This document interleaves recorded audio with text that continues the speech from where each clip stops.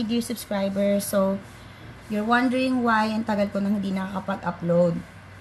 So, I decided to take a break for a while sa pag-upload.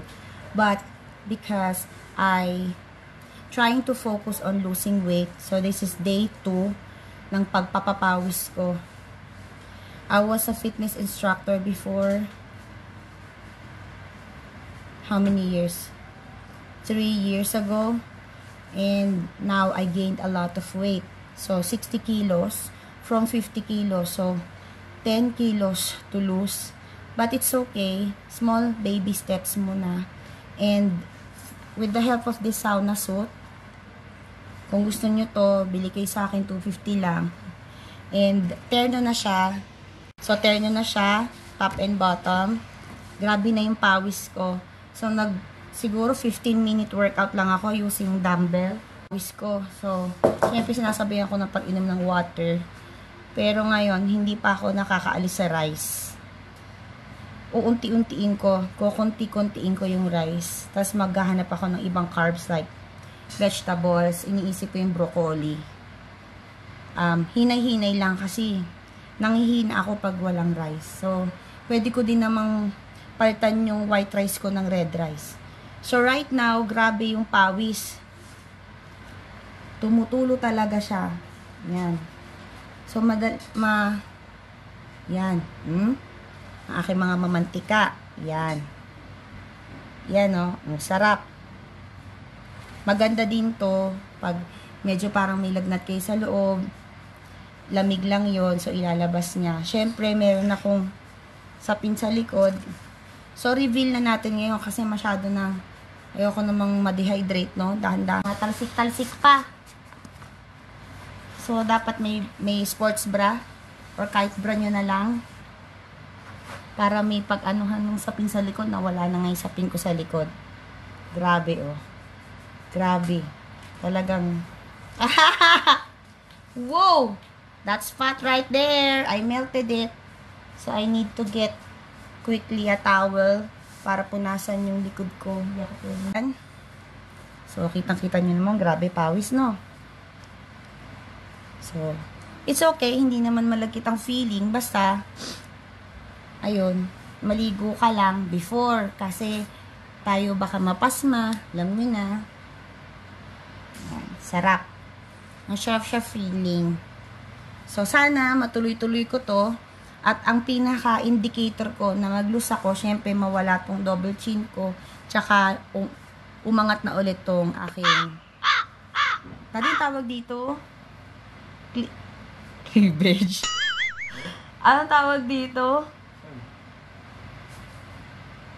Yung buto dito?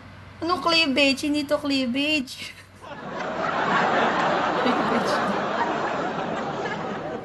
Anong tawag dito? Paki-comment nyo nga. Anong tawag nakalimutan ko? Lang matanda na kasi. Wala, nakalimutan ko na talaga tawag. Porket kasi wala na. Grabe niya, oh. Grabe siya, oh. Ayan. Woo! Grabe ka pawis, eh. Oh. Pawis na pawis.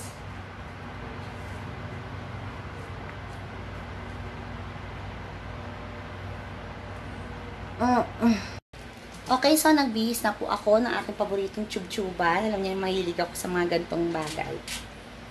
At, fresh ang feeling, hindi malagkit, promise.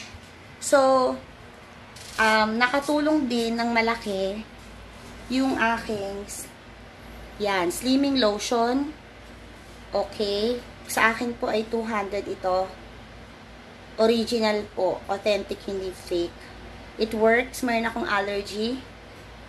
Pero, hindi ako in-allergy sa kanya. So, 200. Plus sa sauna suit, 250. 450. So, kung mag-order uh, kayo, just comment down below. 450 uh, sauna suit and this one. Nilalagay ko to sa aking patatabang parts, sa chan, sa thigh, sa shoulder. Kaya mas grabe yung pawis. And, um, kung hubad, diba? Hindi, yan. So, yun. um, add lang po ng 150 na delivery fee. Yon. So, comment down below kung gusto nyo. And then, day 2 is done for today. Yay! I hope matuloy-tuloy ko to kahit hanggang day 10. Kasi, after kong magawa to ng tuloy-tuloy ng 10 days, magiging habit ko na siya. Tingnan natin ang ginagawa ng aking estudyante. Meron akong estudyante. Yan siya. Yan. Ito yung si Nadine. Lustre. Okay? Concentrate more. Wait a minute. Okay, so till next video. And my next video is going to be teaching you how to draw. Yes, kung ano yung tinuturo ko sa kanya, ituturo ko sa next video ko. So make sure you subscribe to my channel and click the white bell button para ma-update kayo na na-upload ko na yung video na yon. Maganda to, mapagkakakitaan din ito. Lalo na kapag mahilig ka talaga mag-drawing. Kahit sa mga bata, ituturo ko yung technique na pinakamadali para ma-achieve maging kamukha talaga yung dinadrawing nyo. Okay? So, thank you for watching. Sana pumayat na ako. And sana bumalik din kayo sa inyong fitness goals. Para ayoko, ayoko kasi ma-high blood. Medyo tumataas na yung BP ko. So, emergency na. Laban ng katamaran para sa magandang kinabukasan. And I thank you. Bye! Pawis na pawis yung banyo ko. Thanks for watching!